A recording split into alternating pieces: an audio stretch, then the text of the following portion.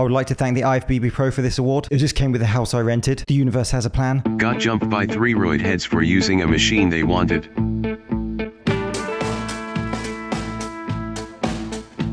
If it was the bicep curl machine, then you had it coming. The symptoms of being smacked by three roid heads are apparently dancing like Justin Timberlake. Those are symptoms you never want. So that was a 20 second clip filmed in an accident and emergency room. You're gonna have to find another way to fill four hours of your time to see a doctor in the UK, sir.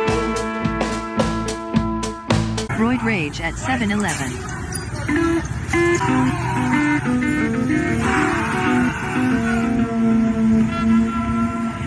That wasn't Roid Rage, he was just disappointed by the ending of Game of Thrones. He did, however, make sure that he hit depth in his squat. Respect. And Roid Rage doesn't discriminate. Shut up and go! It happens outside the gym also because the world is my gym and all that. F***ing said I am. Walk away. I just love the fact that he's showing what a big boy he is whilst driving the most floppy car I've ever seen. Want to know how to decrease your testosterone instantly? Just buy one of those. You're not gonna do a goddamn thing. Crush all of you. When a picture says a thousand words, man picks a fight with a man twice his size in the gym and it ends badly for him.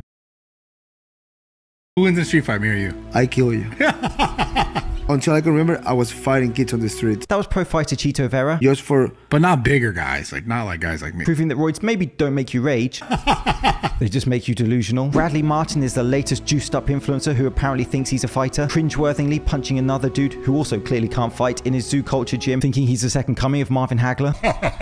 And actual fighters are saying they would beat him up. They are correct. Look at this kind of sparring thing that's going on. He's like the kid in PE class that takes dodgeball way too seriously. The last time I saw swinging like that was the Masters Golf. What happens to these guys? At what level of fame do they turn into Justin Bieber urinating over his fans from his balcony?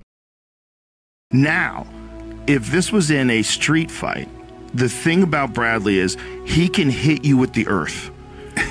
You know what I'm saying? Yeah. Like he can literally pick you up just and you're dive gonna on you. hit the earth with what does he weigh? 270? Pretty funny and not surprised to see Kenny saying that size doesn't matter. He should just stick to the textbook dips. Yo, dude, come on, man.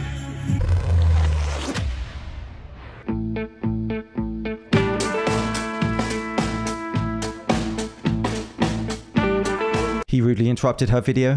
Is a metabolism killer. If that was a bowl of cereal, I would have had the best killer joke ever. A plate of cookies with a portion size for an elephant isn't the best example, Vincente. This is the moment an airport security worker was caught allegedly swallowing $300 worth of cash. Just feed her my cooking, it will come out immediately. The money came from a passenger who had the money in a shoulder bag that had been given to a security worker to put through the x ray scanner. Imagine if it was 3,000. Excuse me, ma'am, I might miss my flight. One minute, sir.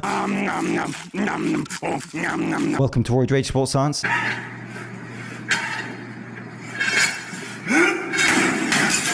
To be fair, that was a pretty efficient way to re-rack the barbell. Not sure that's what Bruce Lee meant by flow like water. Eight, nine, ten. Right onto squats. You call that roid rage eruption? Introducing fitness superstar and million TikTok followers influencer Jessica?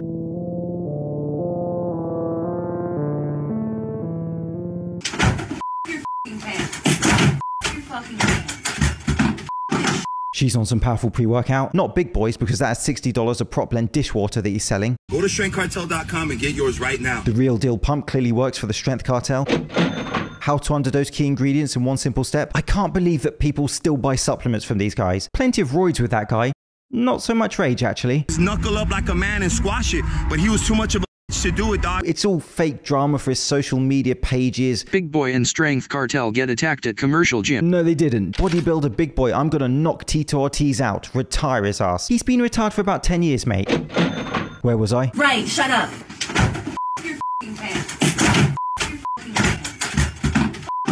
As Chad as I can get.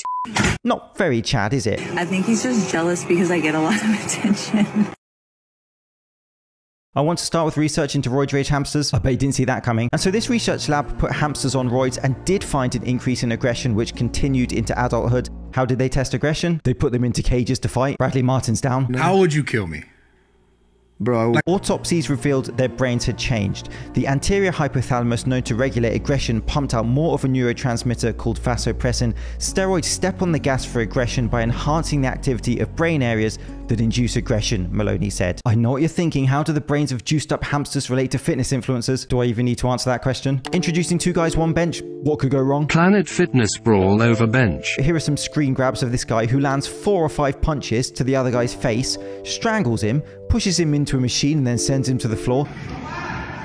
and the amazing thing about that is the lunk alarm didn't go off. Deadlift in Planet Fitness, and it sounds like World War II in there. Punch a guy repeatedly in the face. Go about your business, sir. Have a good day. Overall harm of selected drugs. Blue is harm to the user, orange harm to others. Source Nutatal. A laundry list of substances there, or what Larry Wheels calls a casual Friday night. In last place, people on mushrooms minding their own business whilst delving into the depths of their soul and waking up chewing on their finger. And so roids is fairly low down on the list. Not much harm to others. We have mixed data, and if indeed roids do contribute to aggression, it would be hard to attribute that as the root cause and would be in rare cases. We have older research such as Tricker et al. 1996, which did not find a connection between roid use and aggression. We then have Lundholm et al. 2014, who conducted quite a significant study 10,365 men were part of a survey, a very large sample size, but remember that surveys are not a perfect data collection system. The disadvantage to surveys are basically, well, people can choose not to tell the truth, but they found that our results suggest that it was not lifetime roid use per se, but rather co-occurring polysubstance abuse that most parsimoniously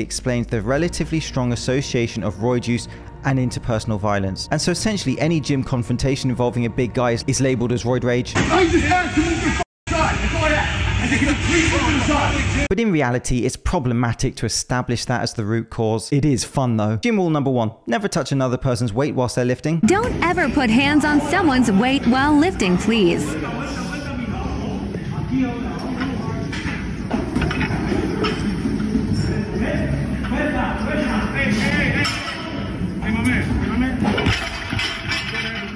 I'm not sure why this guy's interrupting his set, but here's a life lesson. Never trust a guy who wears shorts with leggings in the gym. In this week's I Just Want to Train Nipple Day, bro.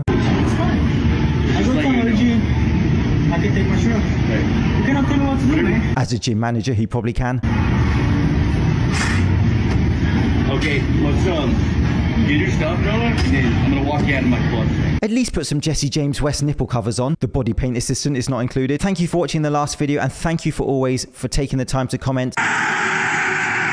The mass monster replied to me. The guys way back when they were doing the Olympic press were then beat bending over in half and they were all fine. I will concede that he knows more about powerlifting than me. Just, no, just joking. He's funny and clearly elite at what he does. Maybe his back won't turn into mashed potato, but his enemies will with combinations like that. I can see him doing well on social media, unlike this superstar. Let me set the scene for you. You've done everything right. You've bought your child-sized Gymshark merch. You've learned how to hashtag, set up your camera perfectly on the gym floor, and then an idiot does this.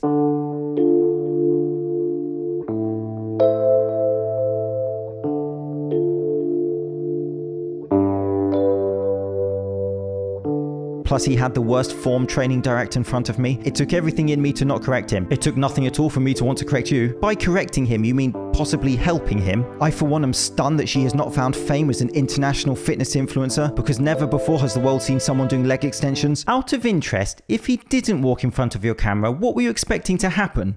Were you imagining red carpets and screaming fans at your window? To be fair, that is an incredible time under tension. Watching that video.